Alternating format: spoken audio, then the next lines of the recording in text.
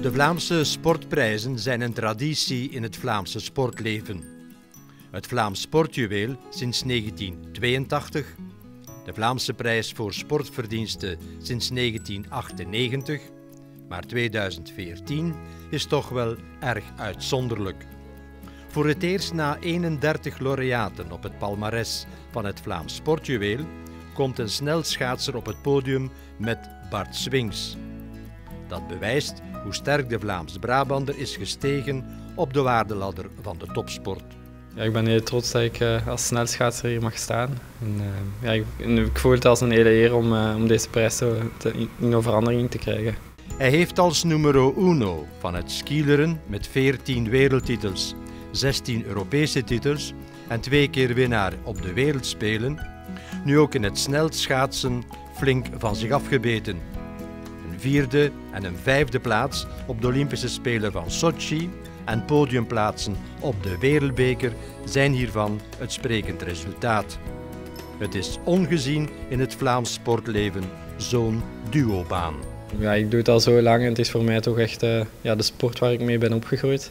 Uh, maar het schaatsen heb ik die Olympische droom om uh, ooit ook een medaille te halen op de Olympische Spelen. En daar ga ik nu de komende drie jaar natuurlijk hard aan werken.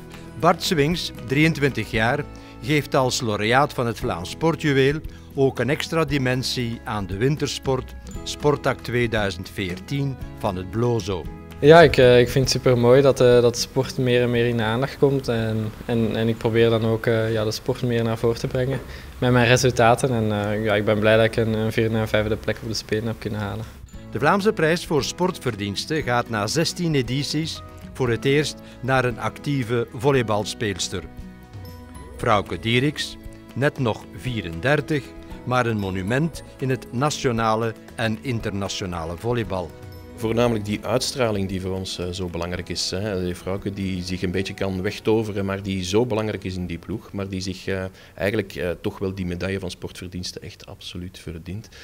monument in het volleybal, volleybal dat echt op een, mooie, in een mooie opgaande trend zit, um, waar we hele mooie successen hopelijk ook nog mee krijgen in de toekomst. En wij steunen uiteraard volledig het volleybalteam en vrouwen in het bijzonder natuurlijk. Op het WK 2013 werd ze bekroond als de beste spelverdeerster van het toernooi en was daarna het exponent van de groei en bloei van het nationale volleybal.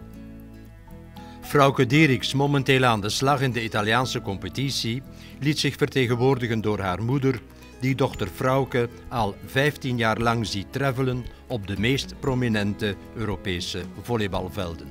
Voor minister van Sport Filip Muiters zijn Frauke Dieriks en Bart Swings, de oogst 2014 van de Vlaamse Sportprijzen, ook een rolmodel in de sport. Ik denk dat uh, ze op verschillende vlakken een voorbeeld zijn.